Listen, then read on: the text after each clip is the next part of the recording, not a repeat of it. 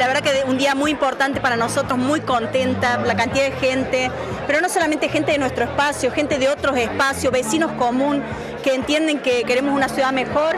Así que bueno, sí, presentando algunas de las propuestas, las otras las vamos a ir presentando más a lo largo de la campaña. Bueno, finalmente candidata a intendente, después de tantas expectativas que había, que sí iba, que no, porque fue elegida también legisladora, si acompañaba a Daniel Gómez Gesteira, finalmente no. No, la verdad que siempre nosotros imaginamos este proyecto, se fueron sumando otras fuerzas políticas, otros sectores y bueno, creo que hoy llegamos con mucha fuerza, con muchas ganas y con la humildad que nos caracteriza, de seguir haciendo lo que sabemos hacer, que es gestionar, trabajar por la gente, somos todas personas muy serias, muy comprometidas y esos son nuestros valores y eso es lo que le ofrecemos a la sociedad. ¿Cuáles fueron los motivos que te llevaron a ser candidata a intendente? Y bueno, la verdad que yo quiero una ciudad mejor, fundamentalmente eso, quiero una ciudad con, igualdad de oportunidades para todos, con un turismo pujante y, bueno, todo eso que uno sueña, creo que, que, si llegamos lo podemos hacer posible.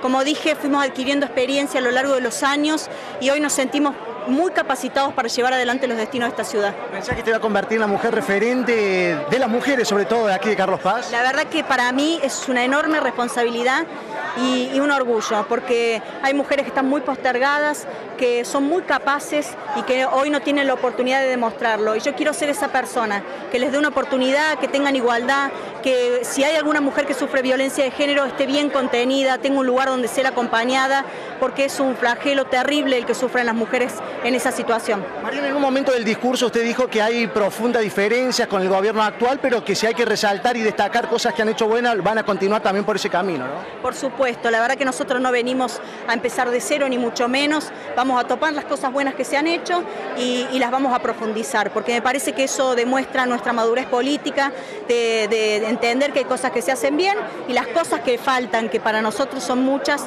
las vamos a ir haciendo. Cosas que faltan y que la señaló como mala fue la del turismo, ¿no? Sí, la verdad que estamos con temporadas eh, difíciles.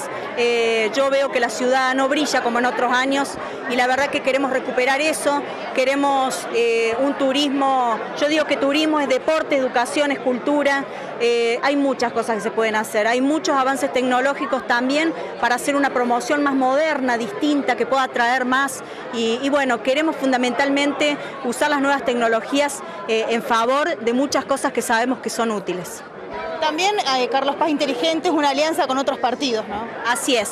Eh, la verdad que es una sumatoria de fuerzas, ya las presenté, ustedes ya lo conocen. Agradecerles a todos, pero no solamente a los referentes, a las personas que lo integran. La verdad que hemos encontrado personas de alto nivel eh, que tienen muchísimo para aportar y cada uno está encontrando su espacio dentro de este proyecto para que puedan trabajar tranquilos, para que tengamos confianza entre nosotros. Eso nos parece fundamental. Se esperaba que, estaba, que esté Mangol también pero no, no está él dentro de la lista, dentro de los candidatos. Ellos decidieron que integrar a la lista su señora, que es la número dos, y para nosotros es una alegría que ella pueda también estar.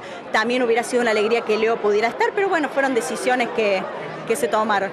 ¿Sorprendió ver a, a ¿Sorprendió ver a, Ruiz, a Omar Ruiz también? Bueno, la verdad que son partes de este frente. Eh, que entendimos eso, que esto no es solamente un conjunto de fuerzas políticas, es un proyecto en común.